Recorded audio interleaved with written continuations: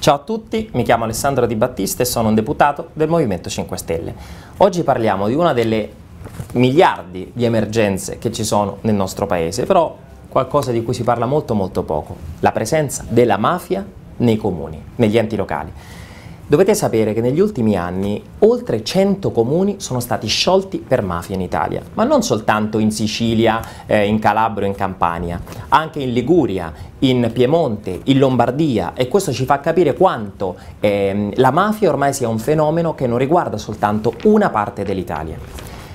Che cosa succede quando un comune viene sciolto per mafia? Succede che i politici, gli amministratori, il sindaco, i consiglieri vengono chiaramente, subiscono dei procedimenti che devono valutare quanto il loro comportamento abbia permesso l'entrata della mafia nel loro comune. Qualora uno di questi politici venisse giudicato incandidabile, si può in Italia, pensate, comunque candidare fino a che non sopraggiunge la sentenza definitiva. Qualora dovesse addirittura sopraggiungere la sentenza definitiva, è incredibile questa cosa, il politico può comunque candidarsi a patto che salta un turno.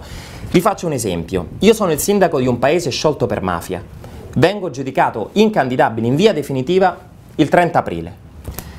Il, a maggio ci sono delle elezioni europee, io non mi posso candidare, quindi salto la possibilità di candidarmi nelle elezioni europee, ma poi a settembre ci sono le elezioni nello stesso comune dove io ero sindaco, comune sciolto per mafia, io comunque posso candidarmi, basta che salto un, eh, un turno. È incredibile, succede in Italia, ma forse non è casuale, dato che appunto l'Italia è il paese dove lo Stato è andato a trattare con la mafia.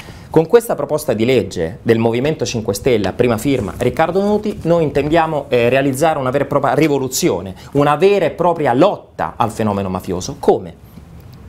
Eh, obbligando il politico giudicato incandidabile appunto eh, perché ha permesso l'entrata della mafia nel suo comune a non candidarsi fino a che non sopraggiunga un'eventuale sentenza che lo scagioni del tutto, che lo dichiari al 100% innocente. E qualora dovesse essere giudicato incandidabile in via definitiva, non si può candidare in nessuna elezione, né alle europee, né alle politiche, né alle comunali, né alle regionali, per dieci anni dalla data della sentenza definitiva.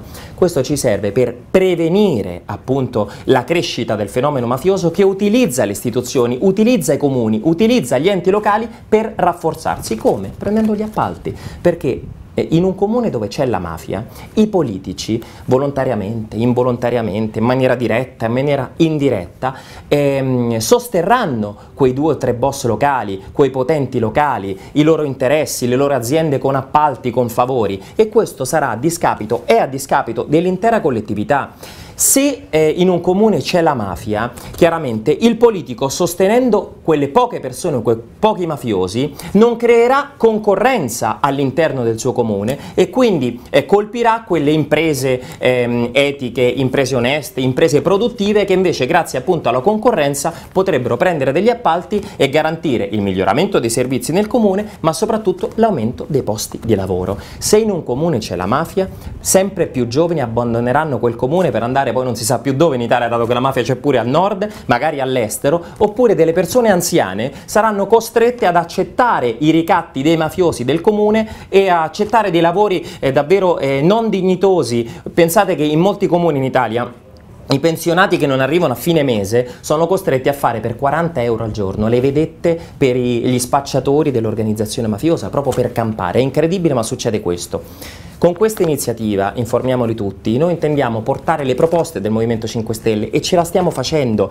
Eh, con Informiamoli tutti stiamo arrivando a milioni di persone. Pensate che il primo video che ho realizzato è finito sulle ehm, home page di oltre 3 milioni di italiani. Possiamo realizzare quello che ci manca, l'informazione, se tutti quanti facciamo, eh, ci, ci mettiamo del nostro e appunto facciamo la nostra parte. Questa è la proposta di oggi, vi chiedo di diffonderla il più possibile e di partecipare all'iniziativa Informiamoli tutti.